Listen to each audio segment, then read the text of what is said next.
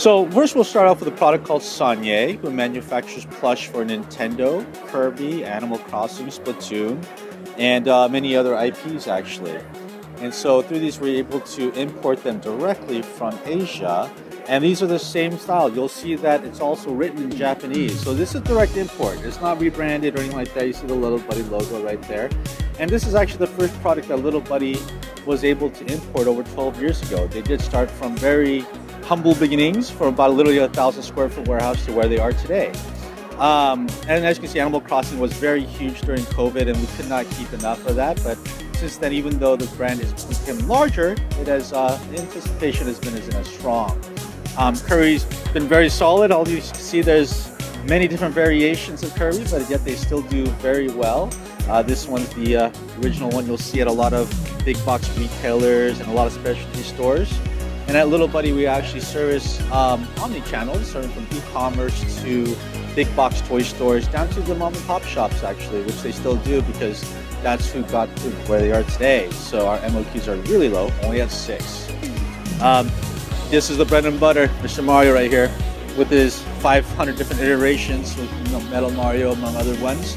Um, you'll see Yoshi in particular, many different colors as time goes on. Um, good guys and the bad guys, Koopa Troopas, Bowser, Shy Guy, Little Mario, goes on and on and on. But as you can see, it also becomes larger. We have uh, the larger Marios and Luigi's. Then talked about Bowser. Sometimes you get some specialty ones like here when they have the uh, wedding for Meet Mario and Peach. Um, but those are very limited offerings and do, do become true collectibles. To wrap it up right here, you see Zelda, or rather Link, but the Legend of Zelda genre. Um, and then there's Zelda herself down there. But you'll see it's from the ones from the previous versions as well as the, um, not the most recent iteration, but the first version that was on the Switch that came from the Wii U.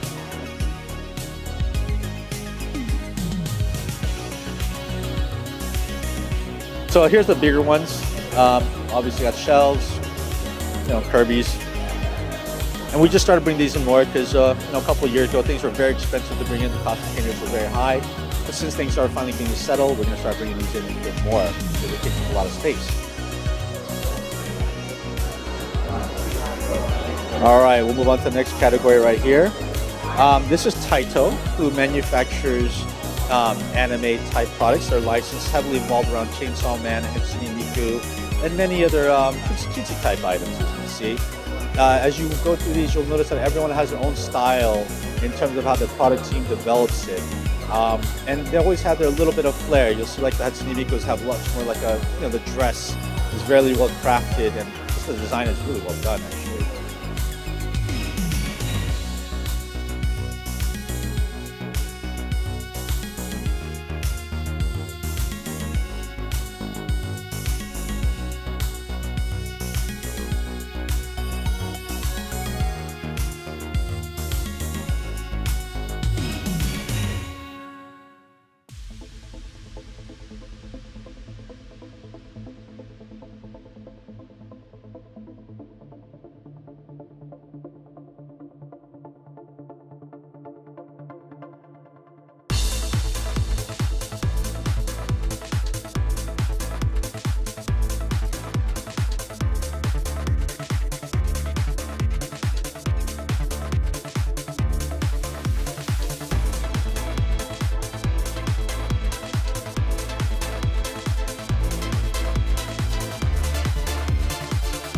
So this is the Furyu line, F-U-R-Y-U. You see at the top right there. And this their particular line, they have a couple of lines that are claimed to fame. One of them is the BiCute Bunny, which is um, a very eccentric character, as you can see. But they also have Hatsune Miku, as well as Rem and Ram, and many other uh, specialty items. And then they go really cutesy with the uh, Spy family. These are all called the Kakes. And then the good old Chainsaw Man plush right there. Yeah, that one's pretty popular. We're continuing the Furyu line right here, but these are called noodle stoppers. So in Japan, when they, you know, pop open the ramen, put the hot water in, they'll put these on top. Um, but these are kind of rebranded for the US more as shelf sitters. You know, people who work from home seem to display this a lot on their computer cubicle areas. It's been taken up. It's pretty cool. But as you can see, they're very well crafted, sitting down. Um, multiple type IPs from the cutesy stuff to more of the serious IPs. Um, it can always range and differentiate. Every one of these groups are always looking for new licensors to work with to build new brands. As of right now, Chainsaw Man is uh, extremely popular IP, but um, yeah, the rest are all relatively pretty strong. Called this is actually a brand new product called Ichiban Kuji Figure. It's a mystery prize game, but as you can see, this one right here is the Naruto Anniversary Edition. These comes in box of sixes. You have to get a mystery prize ticket, and you will one of six of these figures. But you can see, put all three of them together, you get to get to create the special anniversary IP. These are actually a test product, so it's going to be very limited, true collectible. Quite frankly, I'm not exactly sure where they're going, but it's going to be very difficult for a lot of people to find. However, as you can see, it's really well crafted, especially with the background. But again, this is a mystery prize game, so you have to play the ticket, you buy one, and you'll be guaranteed to win a figure regardless. Yeah, this one's gonna be sick. 99 on it, so. Yeah, and these, as you can see, they all consolidate and connect into one big picture, so it becomes a huge diagram. So we'll go back to our classic Ichiban Kuji game, which is over here. Oh, actually, you know what? They're over there. We'll go back over here.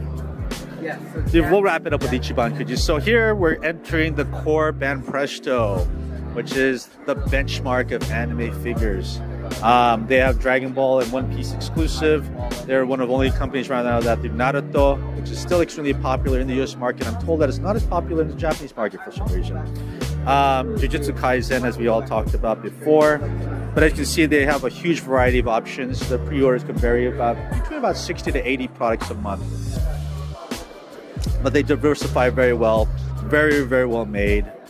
Nothing much more to add other than what you're seeing right there.